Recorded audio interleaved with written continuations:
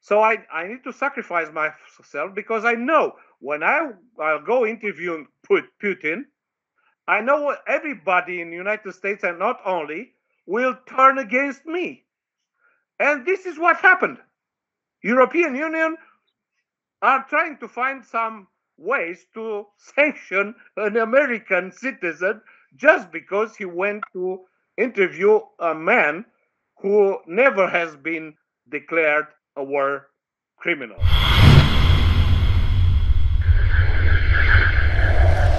Hey, hey everybody, Marcel Irnie Racing News. Romeo with Romania is joining me on the call. Um, Romeo, we're going to talk about Tucker Carlson interviewing Vladimir Putin and how big this event is. What are your thoughts? Listen, everything that should have been said have been said. I mean, look at the Clayton Morris and his wife Natalie. I mean, redacted podcast. Look at Megyn Kelly. Yeah.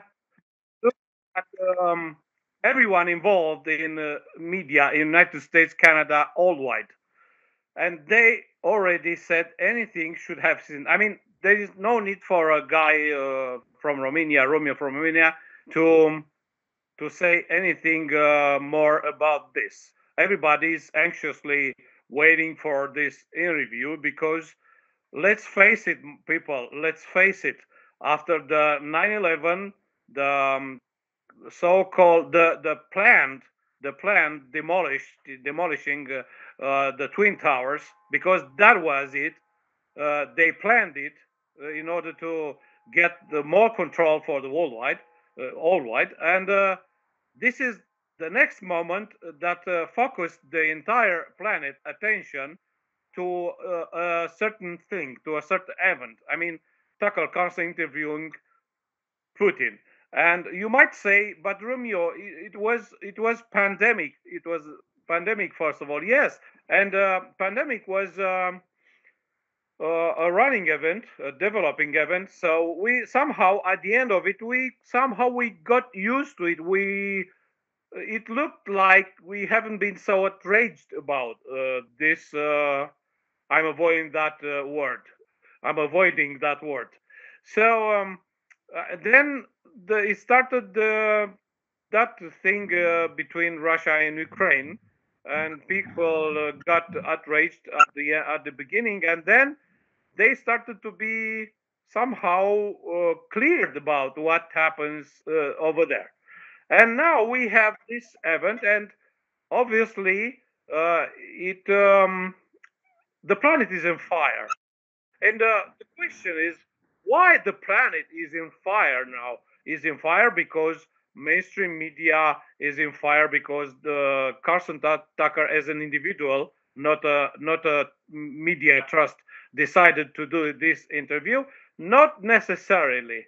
The planet is in fire because there are guys like us, like me, like Marcel Irnie, like Megyn Kelly, like a lot of uh, uh, people around the world, even in Japan, in Germany, in uh, Australia, and in South Latin America, South Africa, everybody is waiting for this interview.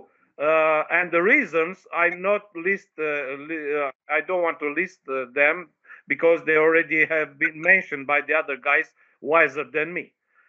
What I'm trying to emphasize now, it might be very shocking for some people, for some of your viewers. Listen, when I was 23, in 1989, uh, when the so-called uh, Romanian Revolution came up and uh, that uh, dictator Ceausescu has been shot, uh, executed. Before this, I was there and I, I could have noticed that the communists worked like that. Yes, you are journalists, but you do whatever you do, but uh, we say, we tell you what to do so if you want to go out and interview someone uh, uh, we don't like, you don't do it. So uh, this is the omerta, the the mafia uh, silence. Uh, we you do whatever we tell you to do. If you do if you do the opposite, somehow we will consider you an enemy.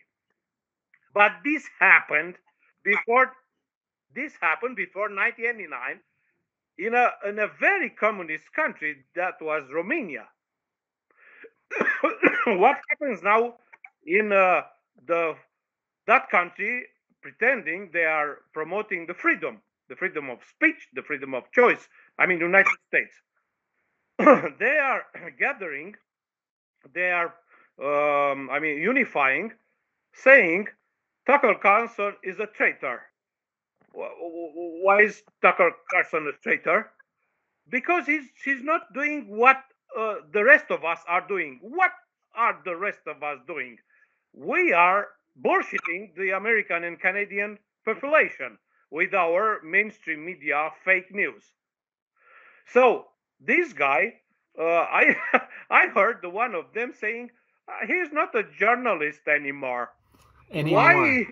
Not, yes. Why is he not a journalist anymore? Because he is not enrolled in CNN, Fox News, MSNBC, NBC, and I don't know.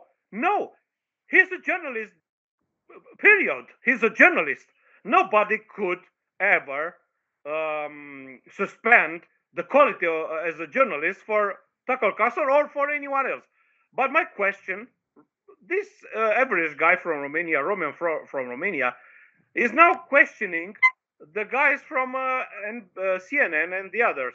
Hey guys, uh, if you want to consider Tucker Carlson not being a journalist because he's not part of your fake world, do you realize you'll be the next? Do you realize that in the very moment you will decide to be independent as journalists, you'll be uh, labeled like being the enemy of the American society? Yes, you are the next. So the only choice you have is to stay and to swallow that frog, that greasy frog they are pushing on your throats, only to stay on the screen and your relatives and your friends saying, I saw you last night on the news. Really? Is it worth it? Is it worth it? Where is the truth? So I would mention this. You had uh, th- those psychopaths uh, killing people in the United States. Uh, help me, help me here, Marcel. Yeah, like Charles. Charles Yeah, you got your Charles Manson and all of the ones that are mass murderers, psychopaths in jail, and then they interview. They're being interviewed to gather information about why they do what they do, and, why, and so you could learn to pre- prevent future. And they they interviewed Fidel Castro, isn't it? Yeah, that's right. Uh, previous dictators. Um, yeah. and they interviewed another other in- dictators from uh, Af- uh, northern Africa, and uh, I don't know in Libya, and I don't know. They interviewed, and nobody said this journalist is uh, out of his mind. He's a traitor because he is interviewing dictators, and we are that country uh, promoting the freedom um, oppo- in opposition to those dictators. Yeah, I, I guess No, you would say. I guess you would say they only interview these dictators when it fits their military-industrial complex, like when it fits the narrative that they're trying to push to have more war, more perpetual war, forever. the problem is that the problem is that we are now while we are speaking we are right before the the the famous interview so we don't know if uh, vladimir putin will disclose to tucker carlson information about the war machine you said about the army industry. So we don't know.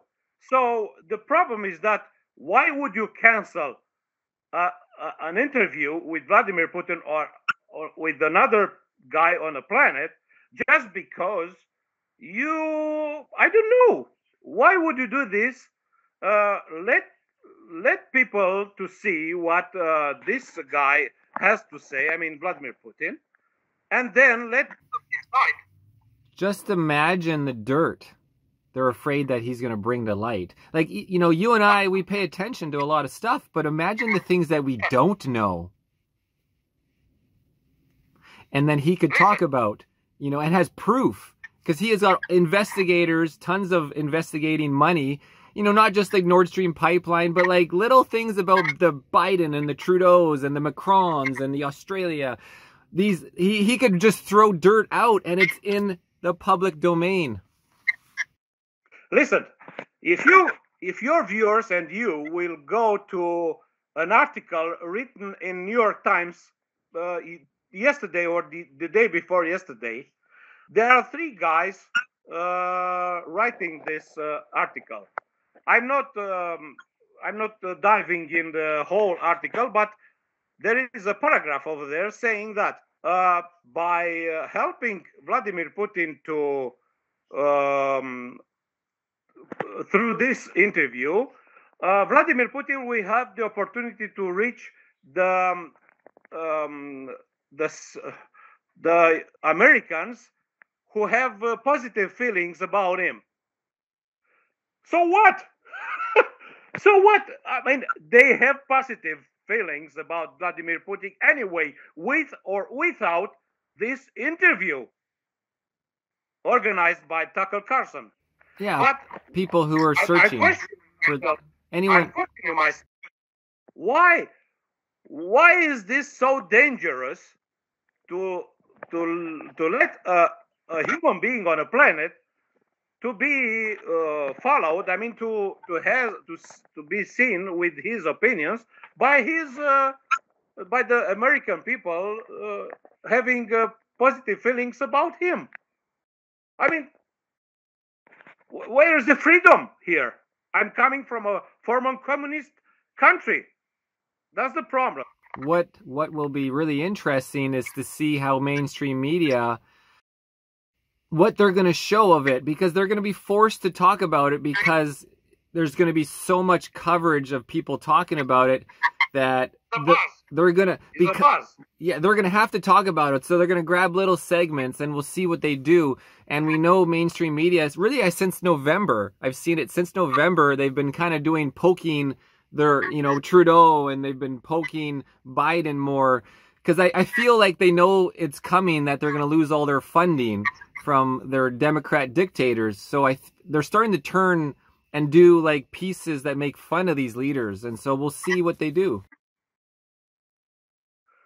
Yes, we know what they are going to do. They are going to um, cut out of the context some of the declarations and they will put it on the screen and they will repeat it endlessly.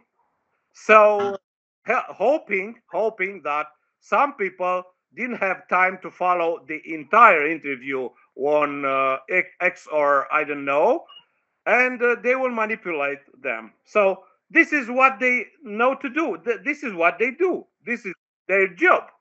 Our job is to prevent this. Our job is to say, pay attention to the truth, not to the manipulation. But again, again, I, I'm a, probably I will tire people saying that again. I'm in a in a communism uh, um, um, system they said the press is ours and uh, you do whatever we tell you to do so if you go and do something else we uh, told you to do you are a traitor but this is in communism so if you do this as uh, tucker carlson and um, you do your own interview as an independent journalist and you are declared a traitor in the United States by this uh, politician or this uh, media uh, channel uh, or I don't know. Probably United States uh, philosophers uh, and intellectuals and I, I'm not expecting politicians to think about that, but they should think if United States is not practicing a new communism um, covered by the um, uh, sort of signs of capitalism. That's the danger. Today is Carson Tucker. Tomorrow will be another one. Don't forget, don't forget Julian Assange. I mean, at least Tucker Carlson is a free. He is free. He's free to go there and do it. But Julian Assange is he's in jail. For Christ's sake.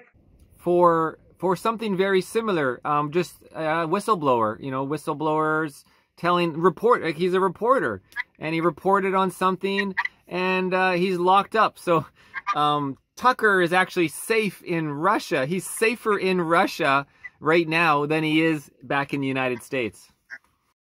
Isn't that crazy?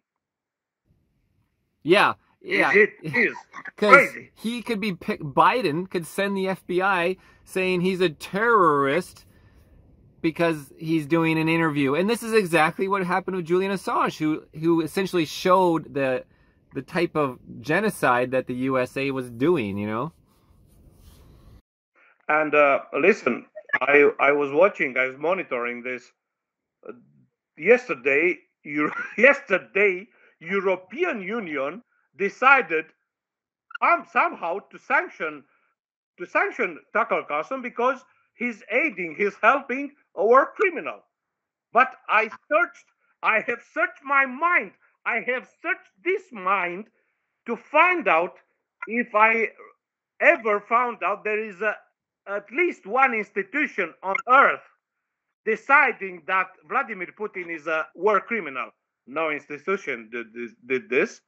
And um, they are treating him, I mean, Vladimir Putin, they are treating him as a war criminal, not as a, a president, a leader of a very, very, very, very important country in the econo- econo- economy of the world.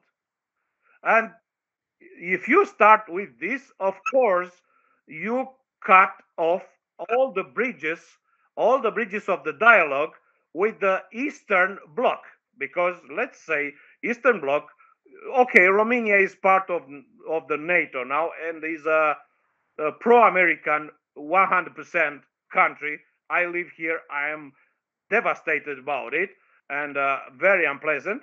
But listen, the Eastern Bloc is um, Russia with the uh, with uh, Kyrgyzstan, uh, Tajikistan, uh, everything ending with Stan and things like this. So there is, if you look at the the Earth map, there is a huge, huge spot uh, called Eastern Bloc. So if you want to have a dialogue with the other world, you don't call Vladimir Putin a war criminal. You treat him, you treat him as a president of a very powerful country. So if you don't do this, you have Tucker Carlson, the thinnest wire, the thinnest wire be- between Western and Eastern blocks. And this uh, thin wire is so fragile, and this man sacrificed everything he um, appreciated in his life. I mean, career, peace, uh, peace uh, for his family, raising children, ch- children, and things like this. And he said, you know, they thrown me out from uh, Fox News. Okay, I became an independent, and, and uh, Elon Musk helped me on X, and uh, I do this. Uh, but something's wrong here. I I could not stay calm. I this is not the truth. This is another peaceful living. So I I need to sacrifice myself because I know when I I'll go interviewing Putin, I know everybody in the United States and not only will turn against me. And this is what happened. European Union are trying to find some ways to sanction an American citizen just because he went to interview a man who never has been declared a war criminal. Certainly not found guilty. That's right. Um, well, yeah, lots to think about. So we got the interview coming up here in uh, less than two hours, guys. So uh, thanks for your words, um, Romeo. And um, yeah, we got this is a serious moment in history where we finally Yeah. get to see the other side to the, the the other side of the military industrial complex war machine the defender against the war machine. You know so uh a special military operation which was forced to turn into uh, a giant war.